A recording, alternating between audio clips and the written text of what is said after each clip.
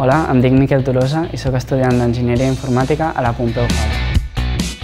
La Pompeu ofereix altres graus que tenen parts en comú, com és l'enginyeria telemàtica, l'enginyeria en audiovisuals o també la biomèdica. Em dic Nadia Campo, estic treballant de programadora de tecnologia interactiva i realitat virtual a Vicio i he estudiat el grau en Enginyeria en Sistemes Audiovisuals a la Universitat Pompeu Fabra. Treballo desenvolupant tant aplicacions de realitat virtual com aplicacions mòbils, com aplicacions de realitat augmentada, experiències o instal·lacions interactives.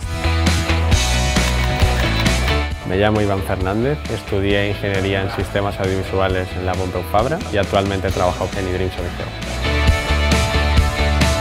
Mi día a día realizo tareas para integrar las aerolíneas con la página web de iDreams.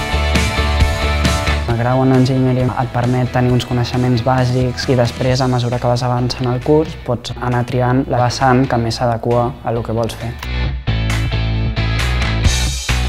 Vaig triar la Pompeu perquè vaig veure que el pla d'estudis i les assignatures que oferien donaven la possibilitat d'escollir entre un ventall molt gran de totes les tecnologies audiovisuals. Elegí hacer el grado en la Pompeu porque no se trata de unos estudios cerrados. Pude combinar temas de programación, como aprender temas de innovación o temas de gestión. Et vas especialitzant i a mesura que vas avançant en la carrera vas trobant aquest vols dedicat.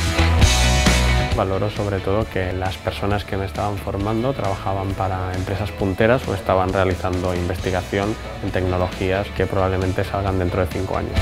Si tens alguna idea que vols emprendre, hi ha tota una comunitat i un espai físic que es diu HackLab, on tots aquests projectes se'ls dona un acompanyament i un suport.